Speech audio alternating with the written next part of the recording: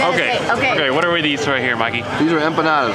Empanadas. What's an Empanadas. empanada? Empanada is yuca, which is kind of like a like um, it's a root, but it tastes a little bit like a potato, and smashed up, and then they put um, meat inside of it, like hamburger meat, Yeah. and then they fry it. And this is called ají.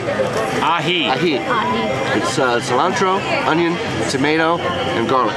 It's delicioso. Yeah. Really good. Then we got Here, here. we have patacones, which are plantains, which is sort of like a banana, Yeah. and smashed and fried with some guacamole and some, um, it looks like frijoles. frijoles, Frijoles. beans, and Beans. some chicken. Chicken. Okay. Okay. And here we have the standard buffalo wings. Buffalo wings. The American plate, right there.